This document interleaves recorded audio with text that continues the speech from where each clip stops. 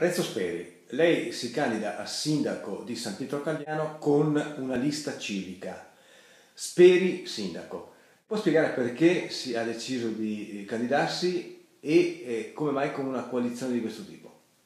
Beh, la mia presenza come candidato sindaco è nata da una necessità del partito, del PD, del circolo PD di San Pietro in Cariano, di trovare una persona che potesse avere capacità di dialogo con tutte eh, forze eh, sociali presenti e politiche presenti nel comune di San Pietro in Cariano. Hanno riconosciuto in me la, perso la persona ideale per le mie capacità personali.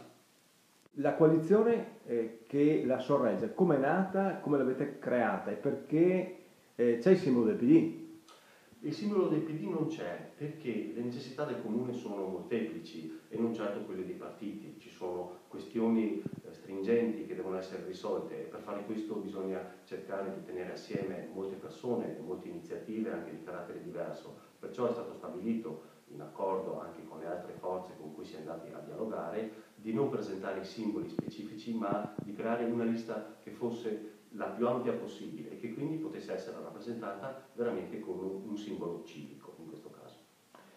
Se lei sarà eletto sindaco, c'è un progetto, un argomento che intende realizzare subito?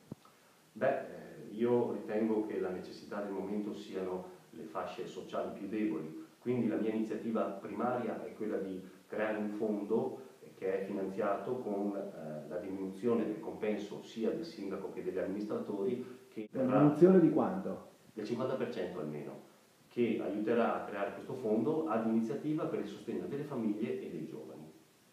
Come verrà eh, gestito? Si creeranno dei progetti specifici per le necessità. Beh, sappiamo che oggettivamente ci sono necessità eh, di carattere economico per le famiglie e eh, di carattere anche di futuro per i giovani e quindi si, posso, si, potranno creare dei progetti che potranno essere finanziati per le possibilità che c'è rispetto a questo fondo, che potranno essere finanziati per la gestione ad esempio dei voucher per, per le mense dei bambini delle scuole oppure per i ticket degli autobus che portano eh, i giovani nelle scuole medie, nelle scuole elementari del comune. Per quanto riguarda le famiglie, un contributo che potrà aiutare anche oggettivamente al pagamento delle bollette della corrente, al pagamento delle bollette della GSM per il gas o per l'acqua.